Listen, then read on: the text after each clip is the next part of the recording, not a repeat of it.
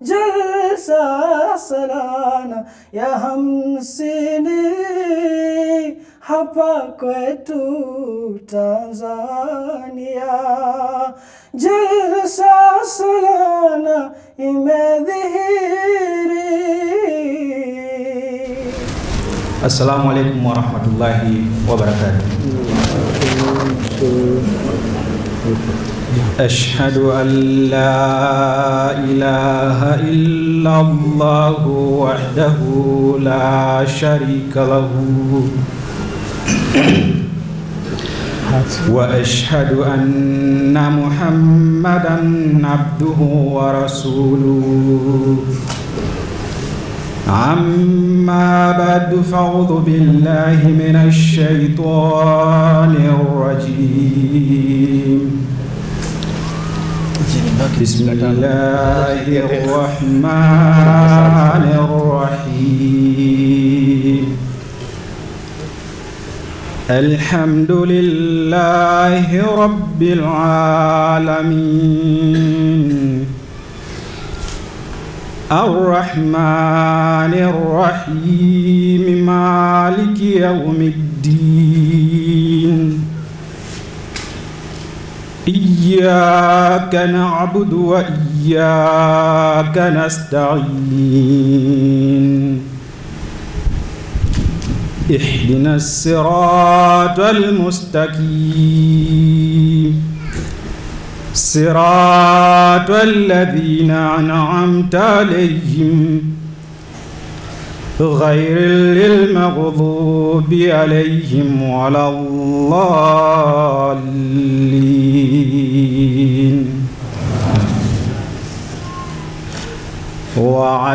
واعتصموا بحبل الله جميعا ولا تفرقوا.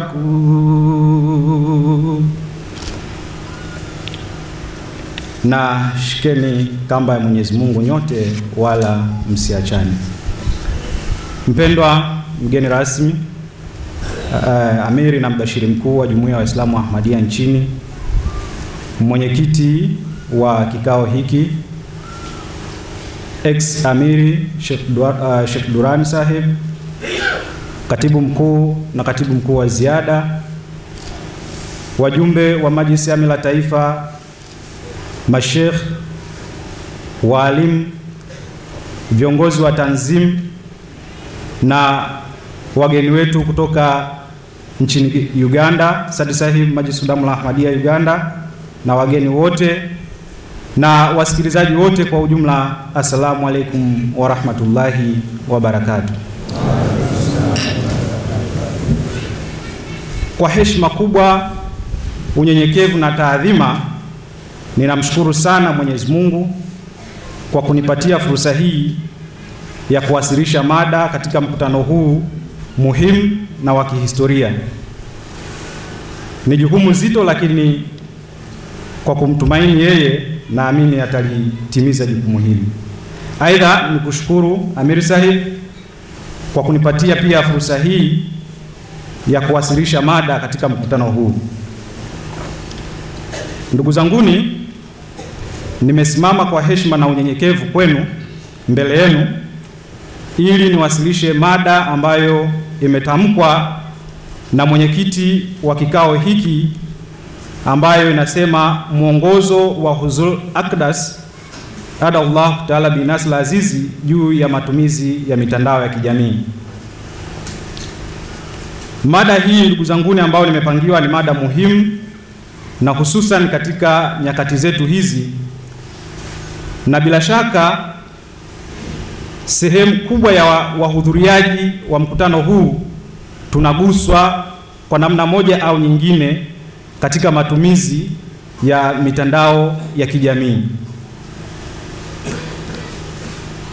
Hivyo katika hali ya namna hii na juu ya mada hii mtu anaweza akajiuliza maswali mawili matatu kuhusiana na mada hii, na hiyo inaweza ikatusaidia kwa pamoja kuielewa mada hii na kwa nini imekuwa muhimu iweze kuwekwa katika mkutano huu mkuu wa kihistoria wa Jumuiya ya Waislamu wa Ahmadiyya nchini.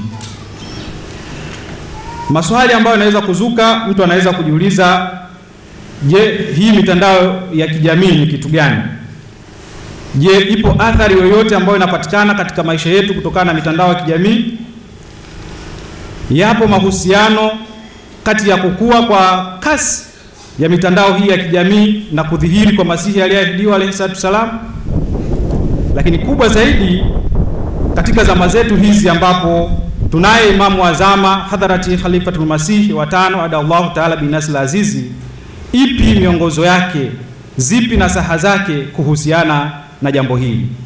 Kwa hiyo maswali haya na mengine mengi ambayo mtu anaweza akajiuliza, bila shaka yatachagiza uelewa na usikivu katika mada yetu hii ambayo tutaendelea kuisikiliza kwa pamoja. Mitandao ya kijamii maana iko pana sawa na teknolojia mbalimbali ambazo zinatumika katika kuiunda au kuitengeneza mitandao hii, lakini ma, maana moja ambayo nitaieleza hapa, wanasema mtandao au mitandao ya kijamii ni wavuti unaotoa huduma ambapo watu huongea na hujumuishwa pamoja. Maana hii inajumuisha mitandao yote ya kijamii, iwe ni application za simu, iwe wavuti, iwe YouTube na kadhalika. Mitandao ya kijamii inaweza kuwaunganisha watu wenye shauku au mapenzi ya aina moja, kama vile wapenzi wa mpira wa miguu, watu wa shule, watu wapenda e, michezo, vyakula vya aina mbalimbali, filamu, dini na kadhalika.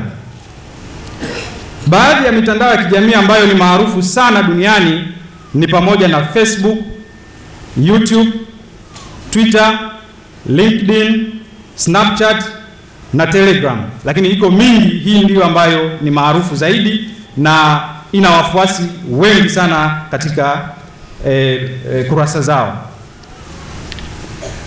Mitandao ya kijamii kwa ujumla inawaleta watu pamoja na kujenga urafiki miongoni mwao na kupeana taarifa. Matumizi zaidi ya mitandao ya kijamii yanaendelea kuvumbuliwa katika nyanja mbalimbali mbali, ikiwemo elimu, biashara, matangazo, siasa, ajira, afya na matibabu, utawala na kadhalika. Hivi sasa dunia inakadiriwa kuwa na watu bilioni 7.7. Kati ya hao watumiaji wa mitandao ya kijamii ni bilioni 3.5. Bara la Afrika ambalo sisi tumo lenyewe lina watu bilioni 1.3. Kati ya hao watu milioni 500 wanatumia mitandao ya kijamii. Lakini tukija hapa nchini Tanzania, jumla ya watu milioni 23 kati ya watu milioni 61 kwa takwimu za sasa wanatumia mitandao ya kijamii. Takwimu pia zinaonyesha kuwa katika kila sekunde moja watumiaji wapya kumi na moja hujiunga katika mitandao ya kijamii, na hii inafanya jumla ya watumiaji wapya milioni mia moja kuongezeka kila siku katika matumizi ya mitandao ya kijamii. Lakini kundi kubwa kati ya hawa ambao wanajiunga ni vijana. Watu wengi hujiunga na, uh, hujiunga na kutumia mitandao ya kijamii kutokana na faida lukuki za mitandao hiyo. Aidha, pamoja na faida hizo ziko hasara pia kutokana na kukosekana kwa usiri, usalama, matumizi ya muda mwingi, picha, video na matangazo mabaya, uhalifu na unyanyasaji wa kimtandao. Kwa wastani watumiaji wa mitandao ya kijamii hutumia saa mbili na dakika 15 kila siku, ingawa pia matumizi hutofautiana kutegemea na nchi husika na jamii ya watu husika. Mathalan, nchi ya Japani wao hutumia dakika 30 tu katika mitandao ya kijamii kila siku, wakati nchi ya Ufilipino yenyewe ni kinara na watu wake hutumia saa 4 na dakika 15 katika mitandao ya kijamii kila siku. Ndugu zanguni, takwimu hizi zote hazitutengi sisi kama Waahmadia, bali nasi tumo katika eh, takwimu hizi ambazo nimezieleza. Hivyo yafaa kutafakari kwa kina na kuchukua tahadhari kubwa na kuangalia namna ya matumizi yetu na shughuli mbalimbali tuzifanyazo tuwapo mitandaoni, kuhakikisha mipaka ya Allah inalindwa daima na tunabaki katika maamrisho yake wakati wote ili kuwa salama na kujiepusha na shari na ushawishi wa shetani katika mitandao hii ya kijamii. Njia pekee ya kubaki salama kwa sasa ni kushikamana na kamba ya Mwenyezi Mungu, yaani kushikamana na mafundisho ya dini tukufu ya Islamu. Kuhusiana na kufungamana na mafundisho ya Islamu, Mwenyezi Mungu anasema katika aya ambayo niliisoma mwanzo, watasimu bihablillahi jamia wala tafallaq, nashikeni kamba ya Mwenyezi Mungu nyote wala msiachane. Sura ya tatu aya ya 104. Mtukufu Mtume Muhammad sallallahu alaihi wasallam aliwahipo kusema kwamba kitabu cha Allah yani hii Qur'an tukufu ni kamba ya Allah iliyoshushwa toka mbinguni hadi ardhini. Lakini Hadharati Khalifatul Masihi wa pili, Hadharati Mirza Bashiruddin Mahmud Ahmadi radhiallahu anhum anaeleza kuihusu aya hii ya kwamba vitu vitatu vimetumika kumaanisha kamba ya Mwenyezi Mungu. Vitu hivyo ni Qur'an tukufu ambayo ni neno la Allah, mtume wa Allah na makhalifa wa Allah. Hii yapatikana katika tafsir Kabir katika maelezo ya aya hiyo ambayo nimeisoma. Katika zama zetu hizi, ndugu zanguni, tumebarikiwa sana kuwa na khalifa wa Allah miongoni mwetu. Hivyo kushikamana na kamba ya Allah ni kushikamana na Qur'an, hadith na ukhalifa wa Kiahmadia kwa sasa. Swali linaweza kuzuka hapa, ni nini hasa maana ya kushikamana na ukhalifa wa Kiahmadia? Ni kujitolea maisha yetu kwa ajili ya ukhalifa wa Kiahmadia, ni kutii bila mipaka kila amri njema itolewayo na khalifa wa zama. Masihi aliyeahidiwa alayhi salatu wassalam aliwahipo kusema kwamba utii hasa ni kuua matamanio yetu binafsi yote na kubakiza matamanio ya Mwenyezi Mungu pekee. Kwa kuzingatia maana hiyo, hapa nitaeleza baadhi ya miongozo ya hadharati Khalifatul Masihi wa tano adallahu taala binasl azizi juu ya matumizi ya mitandao ya kijamii. Hivyo hapa nitahadharisha tu ndugu zanguni ya kwamba kama tulivyoeleza hapo mwanzo ya kwamba haya ndiyo matamanio ya Huzul Akdas adallahu taala binasl azizi ambayo anapenda wanajumuiya wote tuishi kulingana nayo kuhusiana na mitandao ya kijamii ili tubaki salama dhidi ya mashambulio ya shetani na hususan katika matumizi ya mitandao ya kijamii. Nare takbir! Nare takbir! Nare takbir! Khilafat Ahmadiyya!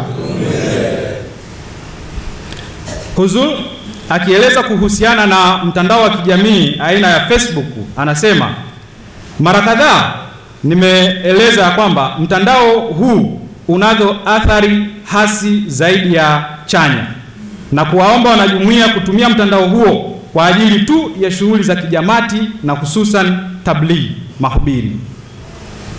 Ingawa kwa mujibu wa sheria ya Islamu haijakatazwa wala kuzuiwa na mtu anayo hiari ya kutumia au kuacha kutumia mtandao huo, lakini Huzur adallahu taala binasla azizi anasema maendeleo yetu yamefungamana na utii, hivyo yampasa kila mmoja wetu kuua matamanio yake na kutii na kufuata mwongozo wa khalifa wa zama. Hapa eh, Khalifatul Masih adallahu taala binasl azizi alitaja kisa cha hadharati Aisha radhiallahu anhum ambaye aliona ndoto. Katika ndoto hiyo aliona miezi mitatu ikiwa imeanguka kutoka mbinguni na kuangukia katika chumba chake, na hapo akaieleza ndoto hiyo, lakini ilikuja kufasiliwa baada ya kufariki mtukufu Mtume Muhammad sallallahu alaihi wasallam, na Mtume mtukufu sallallahu alaihi wasallam akazikwa katika chumba chake. Hapo hadharati Aisha radhiallahu anhum, baada ya kuelewa maana ya ndoto hiyo, akatamani ya kwamba katika miezi ile mitatu basi na yeye awe miongoni mwao. Lakini alipo alipofariki hadharati Abubakar radhiallahu anhum akaja naye akazikwa hapo, lakini baada ya kuzikwa kwa hadharati Abubakari, hadharati Umar radhiallahu anhu ambaye alikuwa ni khalifa, uh, khalifa wa mtukufu Mtume Muhammad sallallahu alaihi wasallam kwa wakati huo, akaomba ya kwamba naomba mimi niweze kuzikwa katika e, chumba hiki baada ya kufariki kwangu ili kutimiliza ndoto yako. Na hapo kwa utii wa hali ya juu hadharati Aisha radhiallahu anhum akasema ya kwamba kama ni khalifa wa Allah akasema hivyo, basi kwa hakika matamanio yangu yote ninayaua na yanabaki matamanio ya khalifa wa Mwenyezi Mungu. Hadharati Khalifatul Masih adallahu taala bin Nasr Azizi anaeleza pia kuhusiana na usambazaji wa ujumbe. Huzur adallahu adallahu taala bin Nasr Azizi anasema katika matumizi ya mitandao ya kijamii, tahadhari kubwa inatakiwa kuchukuliwa wakati wa usambazaji na utumaji wa jumbe mbalimbali ili kuepusha makosa kujitokeza na kuchanganywa kwa taarifa au taarifa kutoeleweka vizuri na kutafsiriwa vibaya. Huzur Allahu taala bin Nasr Azizi anaendelea kusema, kabla ya kusambaza au kutuma ujumbe ni lazima ujiridhishe juu ya ukweli na uhakika wa ujumbe huo. Hivyo Wahmadia wanatakiwa wawe vyanzo vya jumbe na habari za kweli tu mitandaoni. Na hapa hadharati Khalifatul Masih adallahu taala bin Nasr Azizi alitoa kisa kimoja cha mwanajumuiya mmoja katika Jalsa Salana Ujerumani ambaye aliandika ujumbe na ujumbe ule ulitafsirika vibaya kiasi ambacho ulizua taharuki kubwa. Kwa hiyo ni vema sote tuzingatie namna ambavyo tunasambaza jumbe zetu na jumbe hizo tuwe na uhakika kwamba ni jumbe za kweli. Kuhusiana na matumizi, matumizi ya lugha tuwapo mitandaoni, Huzur adallahu taala bin Nasr Azizi anasema tunapaswa kuwa na lugha mzuri na ya staha na tuwe wenye kujiepusha na hasira, tuwe wenye subira na tuwe watulivu nyakati zote. Huzur anasema anapata taarifa ya kwamba baadhi ya wanajumuiya wanafikia kuwatolea lugha mbaya viongozi na mashekh kwa sababu tu wako mitandaoni. Hii kamwe haikubaliki na si sehemu ya mafundisho yetu. Hivyo wanajumuiya wanapaswa kufuata maagizo yangu haya. Kuhusiana na ibada, Huzuri adallahu taala bin Nasr Azizi anasema matumizi mabaya ya televisheni na mitandao ya kijamii yanamfanya mtu aghafilike juu ya ibada. Mwenyezi Mungu anasema, enyi mlioamini, basi enyi mlioamini, msifuate nyayo za shetani, na atakayefuata nyayo za shetani, basi hakika yeye huamrisha mambo ya aibu na maovu. Na lau isingekuwa fadhili ya Allah na rehema zake, asingalitakasika kamwe miongoni mwenu hata mmoja. Lakini Allah humtakasa mtakaye, na Allah ni asikiaye ajuaye. Sura 24 aya ya 22. Huzuri adallahu taala bin Aziz anaendelea kusema, ili kujilinda na shetani kuna ulazima wa kujenga ukuta katika majumba yetu ambao utazuia mashambulizi ya shetani kwa kujiepusha kumfanya shetani kuwa rafiki katika maisha yetu. Bila shaka kila mwanajumuiya anatakiwa kujitahidi hasa kupata ulinzi wa Allah dhidi ya shetani kwa kufanya istighfar kila wakati. Ulinzi bora hasa dhidi ya shetani ni ulinzi wa Allah tu. Basi katika zama hizi mbaya inatakiwa kufanya sana istighfar kwa wanajumuiya wote. Huzuri anaendelea kusema chanzo cha maovu katika zama hizi ni matumizi mabaya ya televisheni na mitandao ya kijamii na kadhalika. Anasema ukiangalia utakuta nyumba nyingi kuanzia wakubwa mpaka wadogo, utaona hawaswali sala ya alfajiri kwa nyakati zake, kwa sababu wanachelewa kulala kwa sababu ya kutazama televisheni au kwa kujishughulisha na mitandao ya kijamii au wakiangalia video na picha mbalimbali, ambapo matokeo yake asubuhi macho yanashindwa kufunguka. Na kwa hakika watu wa hali hii, watu wa hali kama hii hawajali na wala hawazingatii nyakati za sala ya asubuhi kuweza kuamka. Huzuri adallahu taala bin Nasr Azizi anaendelea kusema kuhusu picha, video na programu mbalimbali chafu mitandaoni. Anasema mitandao ya kijamii pia ni kitu ambacho ndani yake kuna mambo mbalimbali ya kumfanya mtu ateleze. Kuna kila aina ya mambo machafu yanayoangaliwa ambayo yanaharibu hulka, na kwa sababu hiyo nyumba nyingi hazina utulivu. Utaona ya kwamba mke hatimiziwi haki zake, wala watoto hawatimiziwi haki zao, kwa sababu mwanaume anajishughulisha usiku mzima kuangalia mambo machafu kupitia televisheni na mitandao ya kijamii. Ili kujilinda na shetani, mtukufu Mtume Muhammad sallallahu alaihi wasallam alitufundisha dua hii: E Allah, weka mapenzi yako ndani ya nyoyo zetu, uturekebishe na utuongoze kwenye njia iliyonyooka, tutoe kutoka kwenye giza kutupeleka kwenye nuru, tuokoe na maovu ya dhahiri na yaliyofichikana, na weka baraka kwenye masikio yetu, macho yetu, kwa wake zetu na watoto wetu, na uturehemu, kwani wewe ni mwingi wa kupokea toba, mwingi wa kurehemu. Huzul Akdas adallahu taala bin Nasr Azizi anasema kuhusiana na kujiepusha na upuuzi ya kwamba kila mmoja ajichunguze ni kiasi gani anajiepusha na upuuzi na vikao vya kishirikina. Anasema wapo wengi sana ambao watakaosema sisi tuna yakini juu ya Mwenyezi Mungu, sisi hatukai kwenye vikao vya kishirikina, lakini jueni kuwa kikao chochote kile kiwe kikiwa cha mitandao katika mitandao ya kijamii, televisheni au kazi yoyote inayokuhafilisha kusali sala, basi hicho ni kikao cha kishirikina. Pia Huzul Akdas Allah taala bin Azizi akieleza juu ya umuhimu wa kuinua kiwango cha haya, yani aibu, Huzua anasema uvumbuzi mpya wa mambo ya kidunia kama vile televisheni, mitandao ya kijamii na kadhalika zimebadilisha kabisa historia ya mazingira ya haya au aibu. Baada yake maovu kuwa wazi sana, basi watu wanasema kwamba haya si maovu.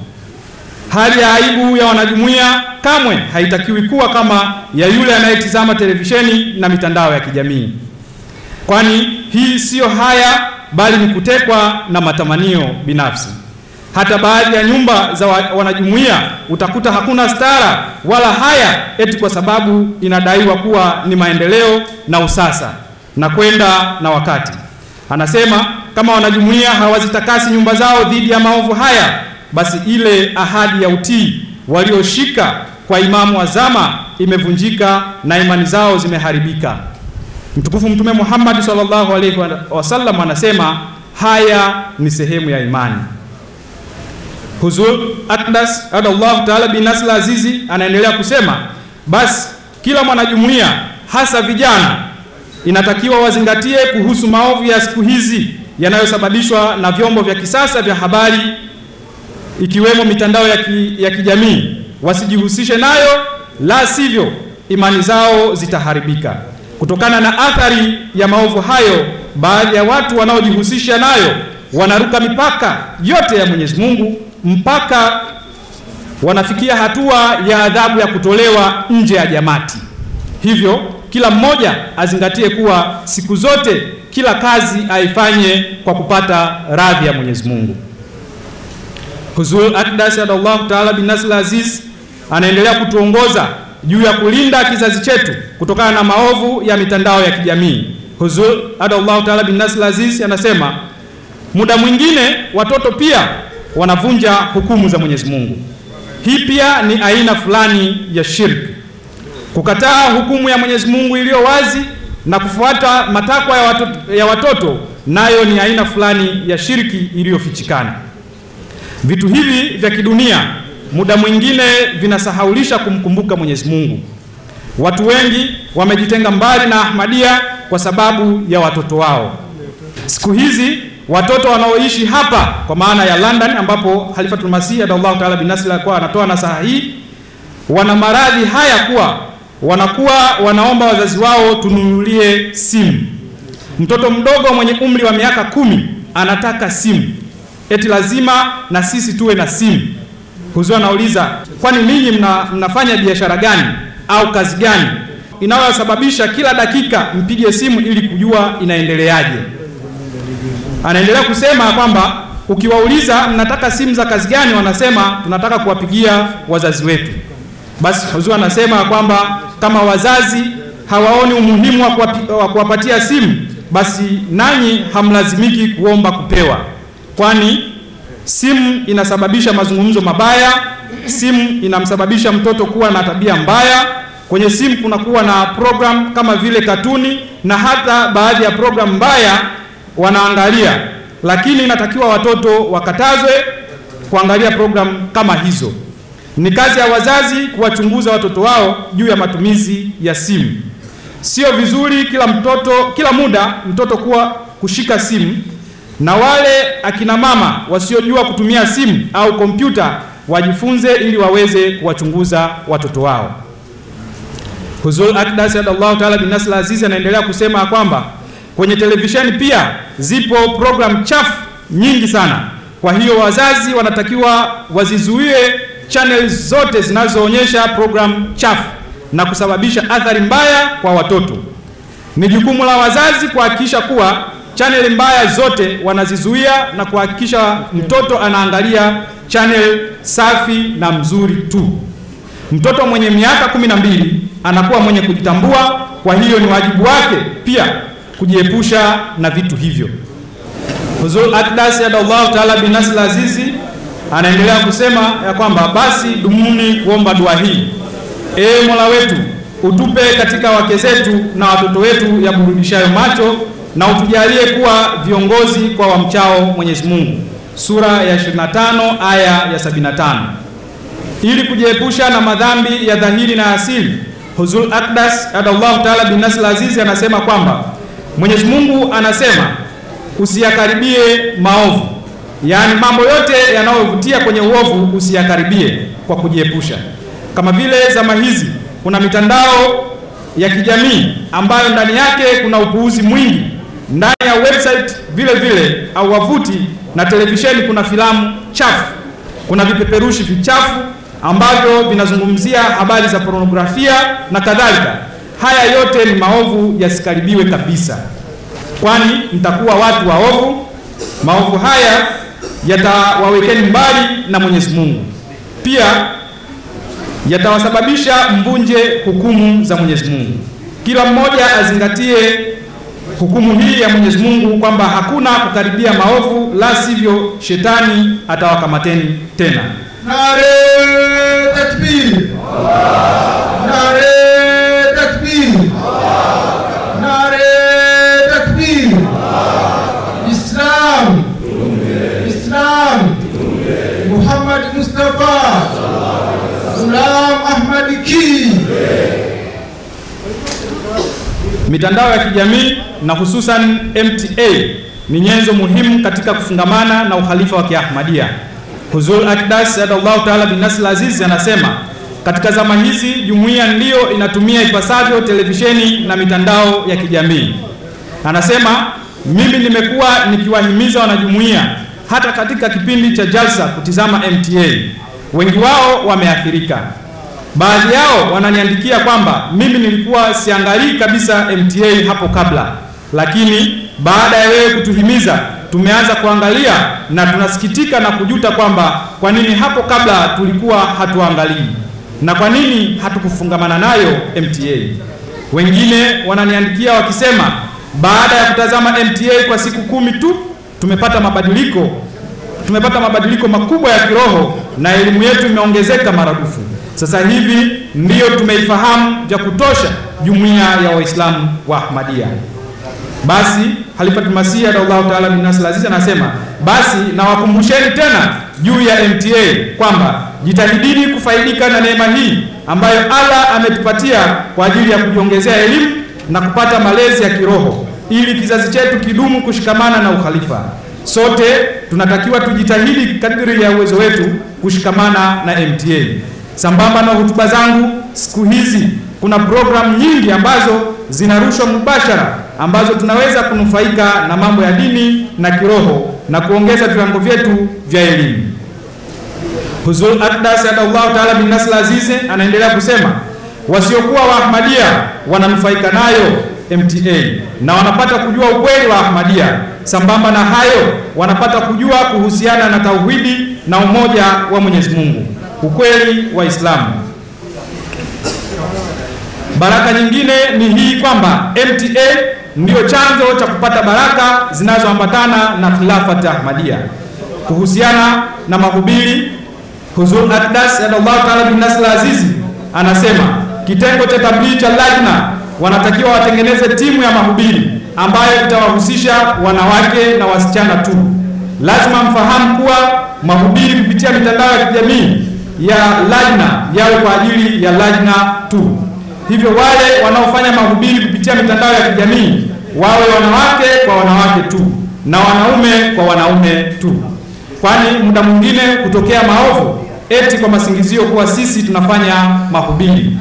Hali hii huleta matokeo mabaya kwa mtoto wa kike wa Kiahmadia. Katika zama hizi jarida la Review of Religion lililoanzishwa na Hadhrat Ahmad alayhi salatu wassalam mwaka 1902 mpaka sasa miaka 114 imeshapita. Kwa fadhili za Allah, katika zama hizi platform mbalimbali zimekuja kwa msaada wa Allah. Jarida la Review of Religion linapatikana kwa sasa kupitia mitandao ya kijamii pamoja na YouTube. Ujumbe wa Islamu unaenea kupitia jarida hili. Kupitia platform hizi mamilioni ya watu wanapata ujumbe wa Islamu kupitia eh, Review of Religion. Na hapa nitaje tu ya kwamba jarida hili hapa nchini pia utaratibu umeanzishwa wa kupatikana kwake. Tukipita kwenye banda la maonyesho pale, tunaweza kujipatia maelezo ya kutosha ili kuweza kunufaika na jarida hili na sisi wa Ahmadiyya pia. Ndugu zanguni, nihitimishe eh, mada yangu hii kwa maneno ya Khalifa, Khalifa mtukufu wa Allah Taala bin Nasr Azizi akizungumza kuhusiana na baraka za MTA, anasema katika zama ambamo tumo, sio nchi moja tu, hapana, bali ni hali ya duniani kote, kwamba vyombo vya habari vimetufanya tuwe karibu kama kijiji. Kwa bahati mbaya, badala ya vyombo vya habari kutuleta karibu na wema, inatuleta karibu na shetani. Basi katika hali hii, kwa mwanajumuiya anatakiwa ajichunguze hali yake, kwani Allah ametupatia MTA na mitandao ya kijamii kwa ajili ya kujiimarisha kiroho na kujiongezea elimu ya jumuiya.